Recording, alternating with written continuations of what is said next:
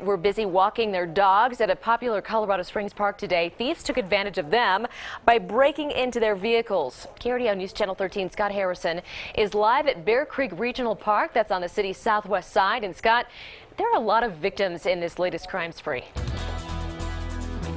Yeah, that's right, Heather. We are at the Bear Creek Dog Park. Mostly everybody knows where that is on the southwest side of Colorado Springs. And even now you can see people here gathered, walking their dogs, having a good time. Some know about what happened here earlier today, some don't. And we're going to show you a total contrast from the people walking their dogs over there to what happened earlier here today shattered glass from windshields and vehicle windows from cars being broken into. Let's take you to video from earlier today of the situation here. Now, one of the victims contacted us just after 12:30 this afternoon to say that several vehicles have broken windows and possessions missing.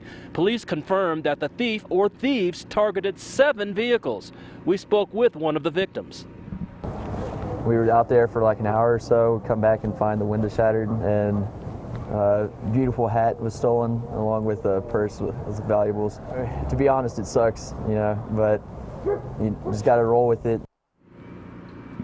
And so those victims are trying to roll with it tonight. Now, police are still investigating this burglary spree. The victims are going to have to pay to repair the damage to their vehicles. This is yet another place that we used to consider safe that isn't quite so safe anymore.